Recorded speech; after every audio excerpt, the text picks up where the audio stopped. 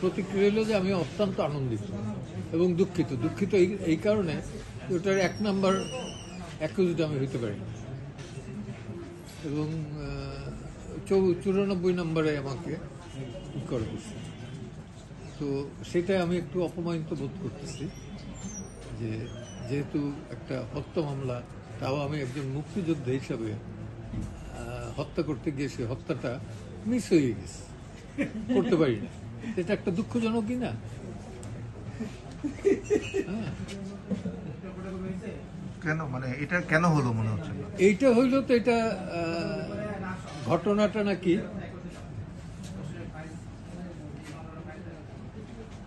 ঘটনাটা নাকি জুলাইয়ের উনিশ তারিখ। তখন তো আমি কোটা বিরোধী আন্দোলনে ছাত্রদের সাথে ছাত্ররা আমার সাথে। তাদের আন্দোলনের সমর্থনে আমি আন্দোলন করে যাচ্ছিলাম।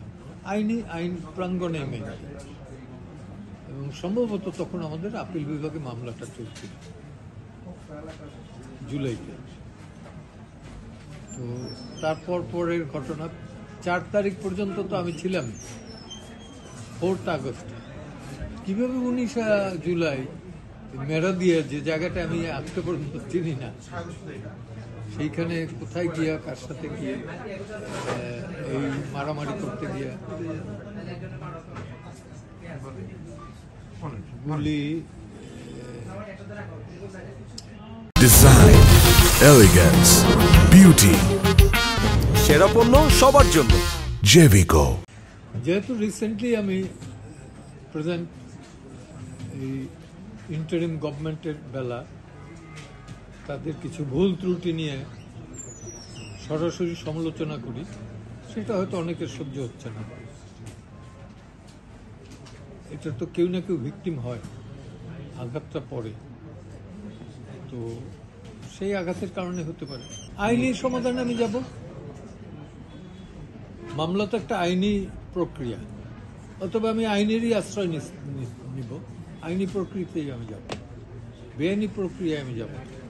ওই ভুয়া নাম্বার ঢুকাই দিয়ে কাউকে যে অমুকে করছে, ইউনুস সাহেব করছে বা তার প্রেস সচিব করছে, এই ধান্দায় আমি যাব না। আমি লয়ার। তাদের ভাষায় মিড গ্রেডের বা মধ্যম ইসের লয়ার হইল লয়ার। এটা তো বোঝা যায় যে বেসিক্যালি উদ্দেশ্য প্রণোদিতভাবে এখানে আমাকে? জড়ানো গেছে যে কোনো অন্ধ লোকও বুঝতে পারবে? যে কোনো চক্ষুষ্মান লোকেরও দরকার হয়। যার সামান্য বিবেক বুদ্ধি আছে। যেহেতু আমি রিসেন্টলি ওই প্রেজেন্ট গভর্নমেন্ট এর কিছু অ্যাক্টিভিটির অ্যাগেনস্টে কথাবার্তা বলি যেটা তারা সহ্য করতে পার- পারছেন না। এছাড়া অন্য কোনো কারণ আমি দেখি না।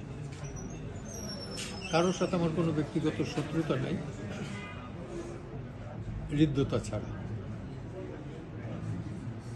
হ্যাঁ তো সেই ক্ষেত্রে এসে আমার, আমাকে, আমার মত প্রকাশ যাতে না করতে পারি